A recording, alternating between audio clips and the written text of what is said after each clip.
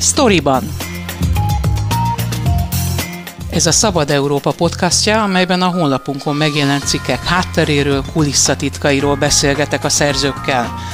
Mivel kollégákról van szó, kérem nézzék el nekem, hogy tegeződni fogunk. Én Fazekas Pálma vagyok, tartsanak velem és munkatársaimmal.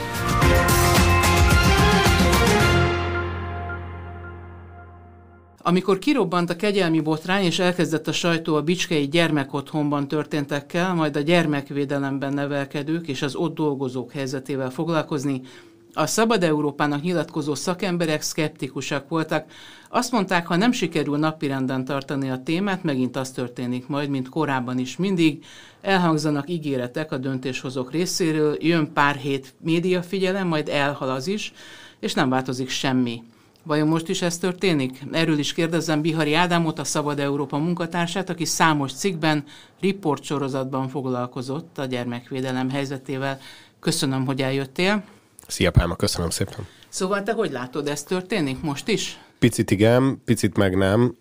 Nagyjából az látszik, hogy a figyelem valamilyen szempontból megvan, hiszen elfogadták ezt a törvénycsomagot, amiben rengeteg rendelkezés van, és amelyek közül úgy tűnik, hogy túlnyomó részt a többsége az szankcionálásra, és ezt szakértőkkel meg a, a rendszerben dolgozókkal beszélgetve kristályosodott ki ez a szó, hogy execíroztatásra irányul. Nagyon belenyúl abba, hogy azok, akik benne dolgoznak a rendszerben, azoknak a magánéletével mi a helyzet, itt gondolom arra megy ki az egész, hogy ne kerüljenek be olyanok a rendszerbe, akik egyébként kiszűrhetőek lennének, akár pszichológiai vizsgálatokkal, akár egyéb lépésekkel is, ez rendben van, tehát ez, ez fontos lenne valóban, de itt, itt már inkább azt érezni, tehát tényleg egy olyan adatlapot kell kitölteni, ahol beírja az ember, hogy hova jár szórakozni, ki az, akivel együtt él, milyen típusú kapcsolatban élnek együtt. Tehát ezek olyan dolgok, amik Szinte egy nemzetbiztonsági átvilágításra Igen. emlékeztet tulajdonképpen. Milyen vizsgálat, milyen alkalmasági vizsgálat volt eddig, és vajon ez, amit most kitaláltak a szakemberek, alkalmas-e arra, hogy tényleg kiszűrje a predátorokat a gyermekvédelemből?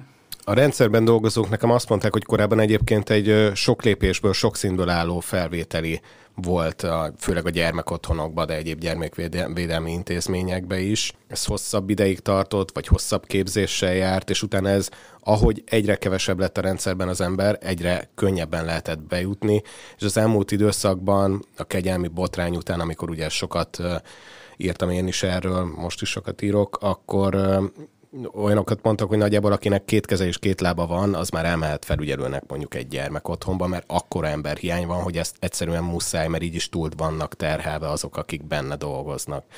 Ezzel a lépéssel nyilván nem fognak tolakodni az emberek, hogy akkor én is szeretnék bejutni ebbe a rendszerbe, hogy kevés pénzért elképesztő stressz és felelősség mellett dolgozzak, és még a magánéletembe is olyan szinten túrjanak bele, ami mondjuk egy hipermarketben biztos, hogy nem fordul elő.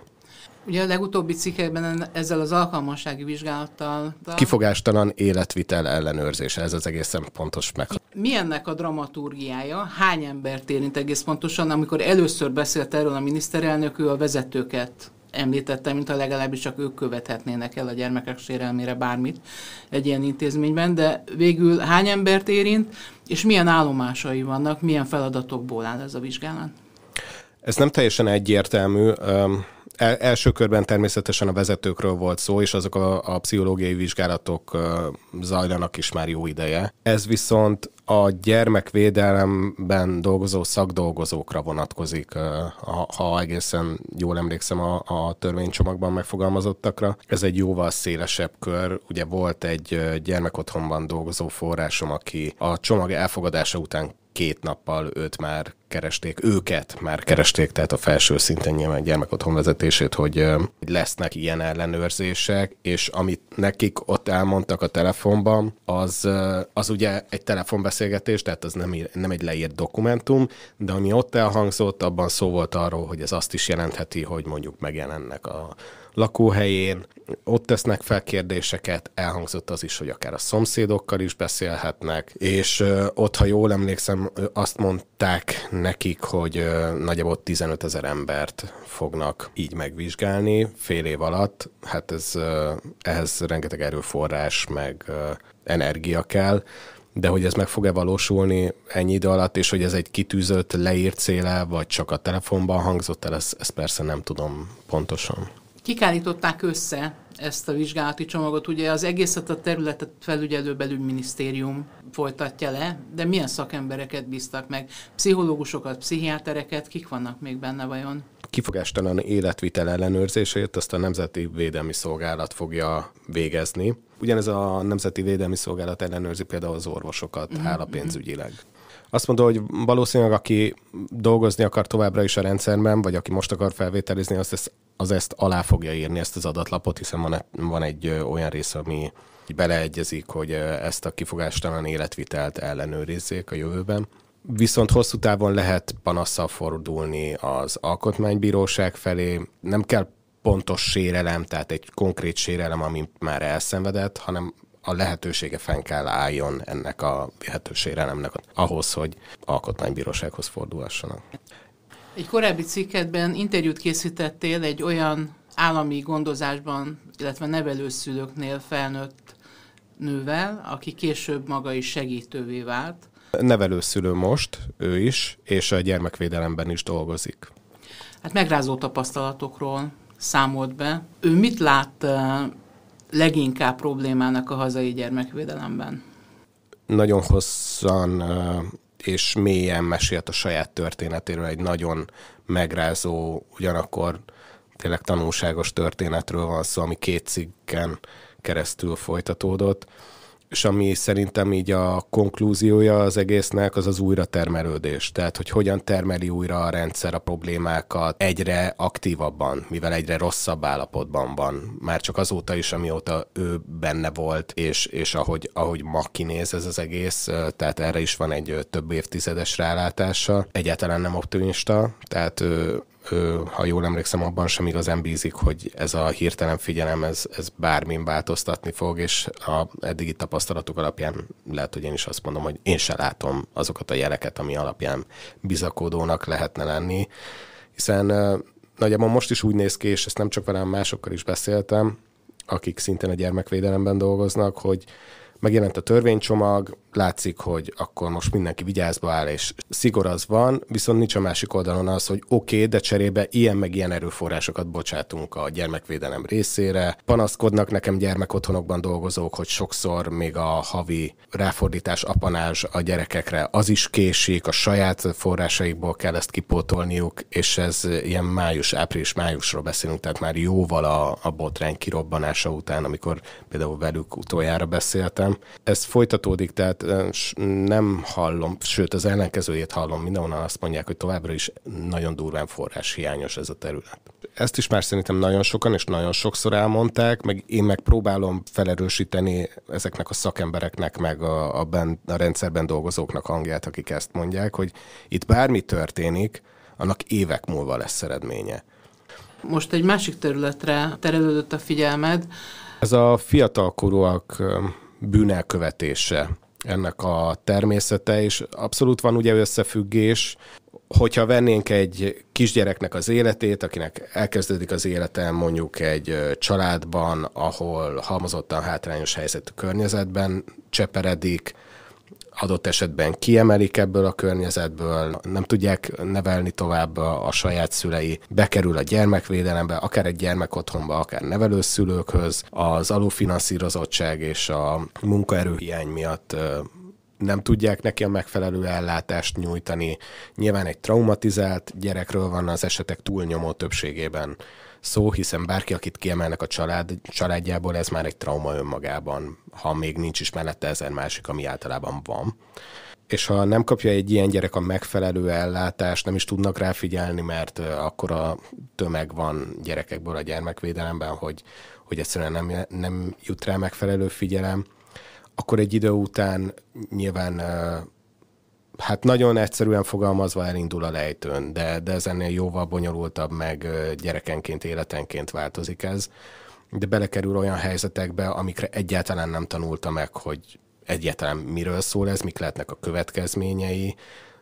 a legtöbb esetben annyira a jelenben élnek ezek a gyerekek, hogy nincsen elképzelésük arról, hogy milyen hosszú távú következmények lehetnek abból, ami, abból a döntésből, amit ők most meghoznak, úgyhogy még igazából a felelősségük tudata, az, hogy létezik olyan, hogy felelősség, még az is egy nagyon friss élmény, ha egyáltalán már megvan náluk.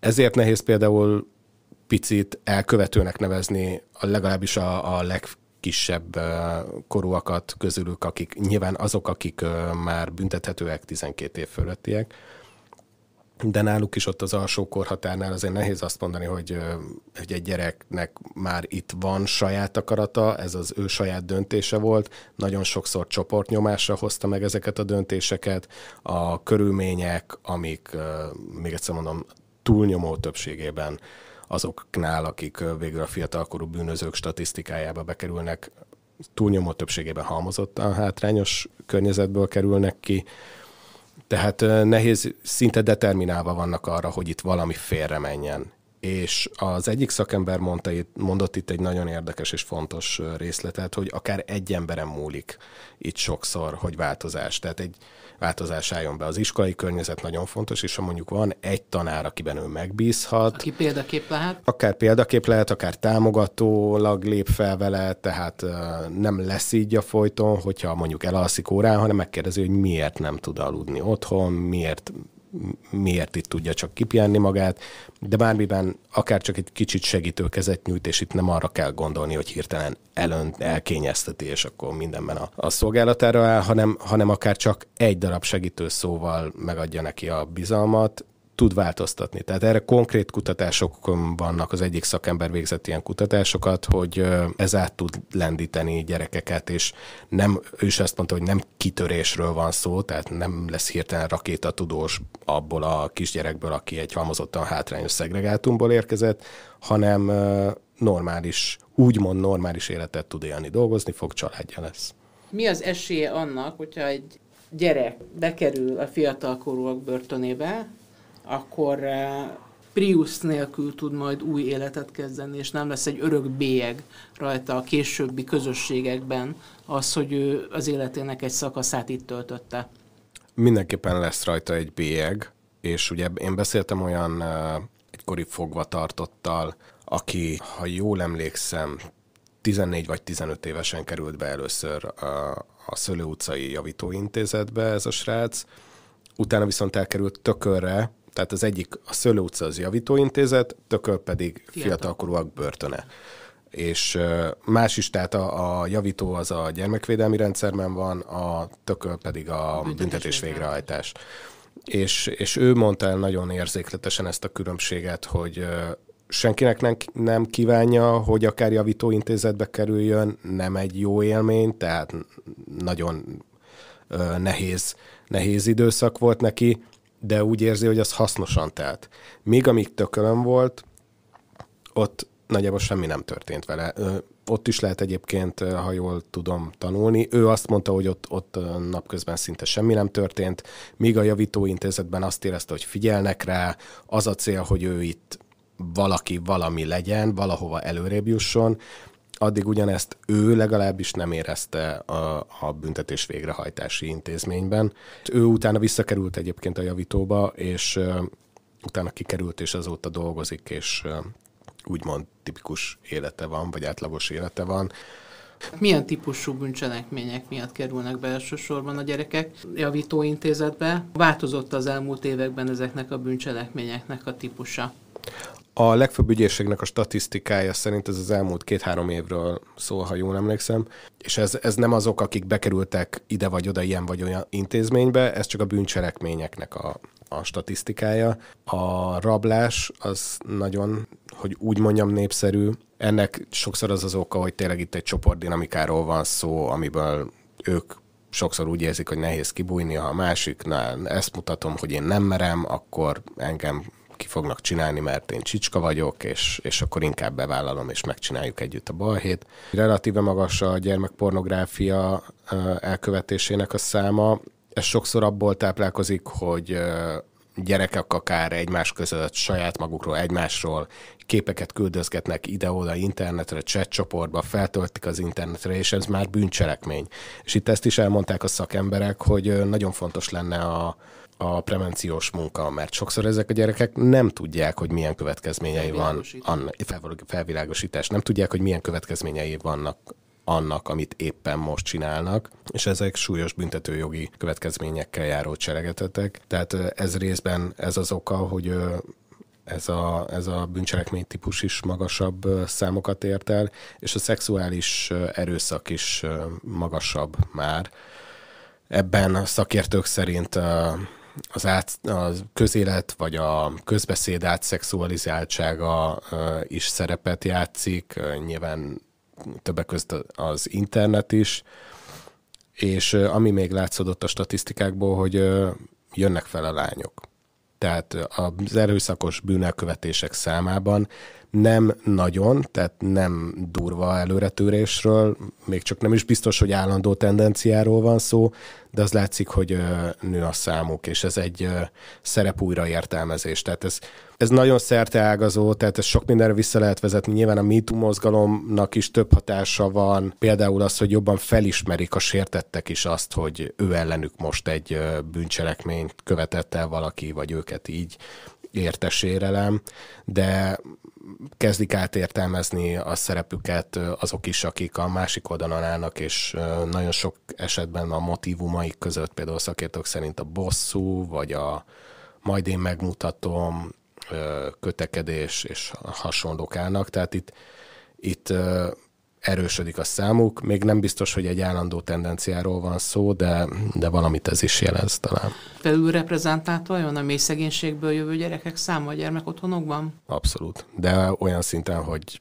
nagyon. Erről nem ismerek pontos statisztikákat, akikkel bendolgozókkal beszéltem, azok azt mondták, hogy nagyon 90% felettiről beszél, de ez nyilván egy intézmény, tehát ezt nem tudom általánosan elmondani, és inkább ilyen fehér hollóként mondják azokat, akik rendezett környezetből egy nagyon rossz döntés, vagy akár más szempontok miatt kerültek, kerültek ilyen helyzetbe.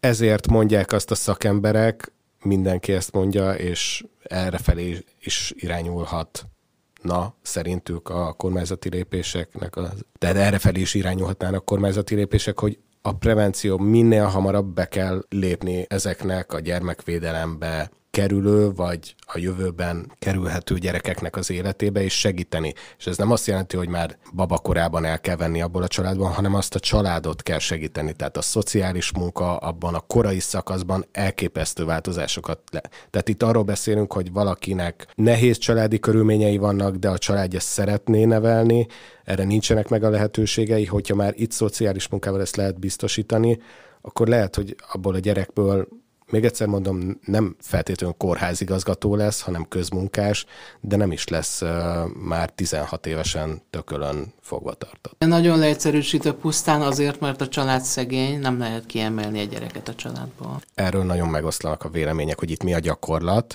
jogszabályok szerint elvileg nem. Azért is mondom, hogy megoszlanak a vélemények, mert a szakemberek is, akikkel én beszéltem, eltérően ítélnek meg bizonyos helyzeteket, és van, aki azt mondja, hogy jobb már ebben a helyzetben beavatkozni, valaki meg azt mondja, hogy ameddig csak lehet, tényleg a végsőkig, addig a családban maradjon a gyerek.